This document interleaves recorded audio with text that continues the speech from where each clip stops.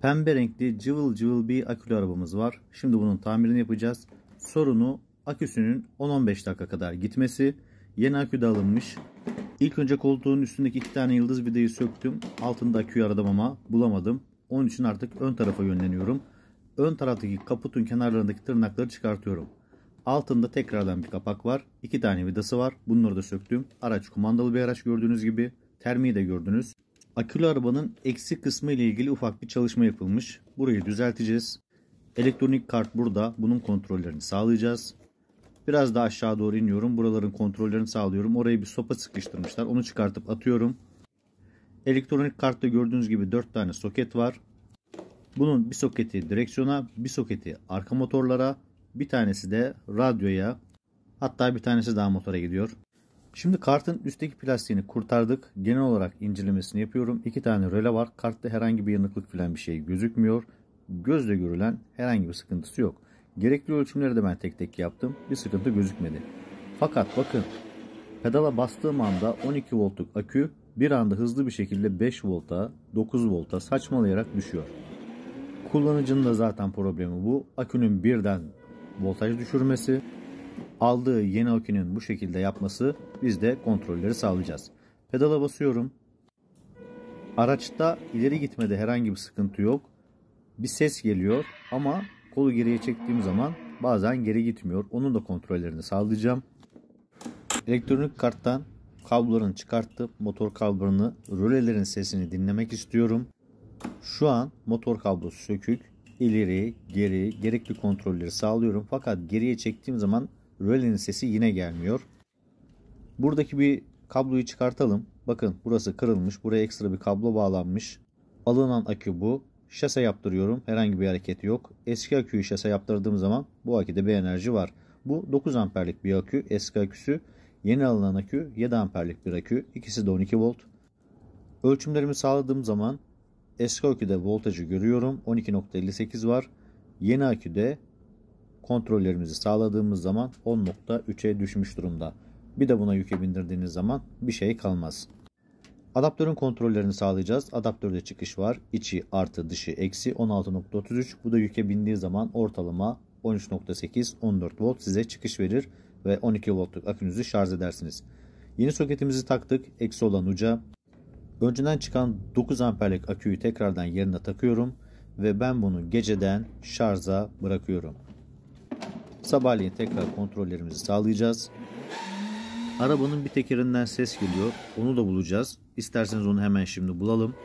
Bakın pedala basıyorum. Tekerler dönüyor ama ses geliyor. Motorun bir tanesini söktüm. Bir tanesini çalıştırdım. Burayı lehimlemişler. Orayı sökemedim. Onun için soketlerden çıkartıyorum. Gaza basıyorum. Ses gelmeye devam ediyor. Şu an arka tekerler havada ve boşta.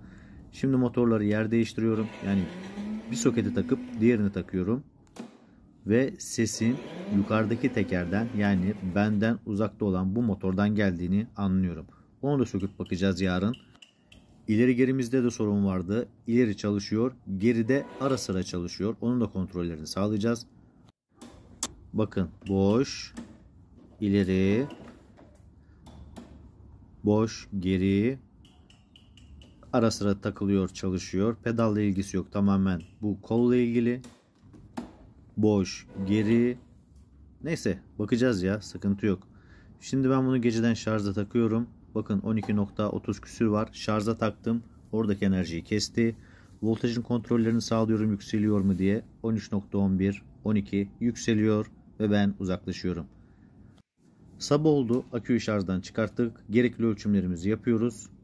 Akünün 13. ne 13'ü 14.57'ye çıktığını görüyoruz. Şimdi tekerlekten başlasak. Nereden başlasak? Tamam tekerlekten başlayalım. Şu sol arka tekerden bir ses geliyordu. Onun sökümü ile ilgili çalışmalarımıza başlayalım. Öncelikle tekerin ortasındaki plastik kapağı çıkartıyoruz. Bunun altında segman var. İnanın elinizde yedek segman yoksa bunu sökün diyemem. Sökmesi gerçekten biraz sıkıntılı. Çıkartırken kırılma ihtimali bile var. Zor olsa da ben sökmeyi başardım. Bakın bu şekilde tekrardan denemelerimi yapıyorum. Motordan tekrardan ses geliyor. Yani artık motorun içine dişleri ineceğiz. Bunun içinde ne var ki? Ne kadar dişli var ki? Tamam hep beraber görelim. Plastik kapağın etrafındaki bütün vidaları söktüm. İçinde 3 tane dişli var. Bir de motorun kendisi var. Dişleri tek tek sökmeye başlıyorum. Her birini çıkartıp tekrardan pedalı basıyorum ki ses geliyor mu diye. E ses gelmeye devam ediyor. Bunu da çıkarttım. Sadece motoru test ediyorum. Sadece motoru test ettiğim zaman sesin gelmediğini görüyorum. Tamam yükte değil ona eyvallah ama ses yok. Hani motor bir burçun üzerinde dönüyor ya hani belki burç da aşınmış olabilir diye düşündüm ama şu an ses yok. Tamam yükte değil tekrardan söylüyorum. İlk önce şu denememizi yapalım. Etrafa saçılmış bu sarı gres motorun etrafına komple sürüyorum. Saçılmış bütün ne kadar yağ varsa dişlere sürdüm ve ses kesildi. Şimdi biz bunu bir de toplayıp da deneyeceğiz. Bunun zaten vidalarını kapattık. Motoru yerine oturttuk. Motoru oturttuğumuz yerlerde herhangi bir vida yok. Şu an ses yok. Şimdi yükte deneyeceğiz. Tekeri yerine takıyorum. Üstteki segmanı yukarıdan aşağıya bastırarak tabi milin de aşağı kaymasını engelleyerek sıkıca yerine oturtuyorum. Bunu takarken pek sıkıntı yok da dediğim gibi çıkartırken biraz sıkıntı var. Hadi şu ileri geri düğmesini değiştirelim. Bunun gerisinde problemimiz vardı. Bunların nasıl tamir edilebileceğine dair size yöntemleri göstermiştim. Bazılarının olabilme ihtimalleri var. Bazıları aşırı bozulmuş oluyor. Yapılamayabiliyor. Şimdi ben bunu değiştiriyorum. Eskisini çıkarttım. Bakın sadece bir soketten ibaret. Yukarıya doğru çektim. Geldi zaten. Yenisini tekrardan yerine takıyorum. Tabii ki yenisi dediğim aslında yenisi değil. Bu daha önce başka araçlardan sökülmüş olan, bakımları yapılmış olan bir kol. Birebir aynı. Hiçbir sıkıntı yok. İleri geri kontrollerimizi sağlıyoruz. Araç ileride gidiyor, geride gidiyor. Şimdi biz bunu test ekibine vereceğiz. Aracı test edecekler. 15 dakika boyunca öncelikle büyük kızımıza verdik.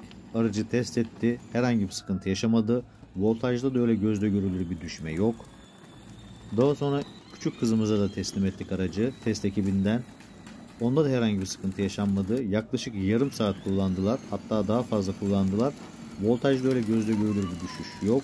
12.60'larda 12.70'lerde araçtan indiler ki yarım saatte kullandılar. Buradaki bence en önemli problem akünün dandik olmasıydı.